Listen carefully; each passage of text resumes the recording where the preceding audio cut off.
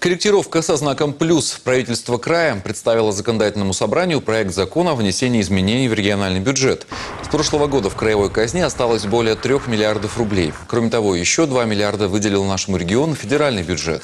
Все эти средства пойдут на несколько направлений. В частности, более 800 миллионов потратят на лекарственное обеспечение льготников. И еще чуть меньше миллиарда – это дополнительная поддержка агропромышленного комплекса. Кроме того, большое внимание уделено социальной сфере. Так планируется увеличить расходы на обеспечение питанием, одеждой и обувью детей с ограниченными возможностями здоровья, воспитанников детских домов и ребят из малообеспеченных семей, а также малых коренных жителей Крайнего Севера. Вырастет финансирование частных детских садов. А вот органам власти вновь придется сокращать свои расходы на командировки, связь и транспорт. Таким образом, краевой бюджет планирует сэкономить около 100 миллионов рублей. Все эти поправки депутаты Заксобрания рассмотрят уже на ближайшей сессии.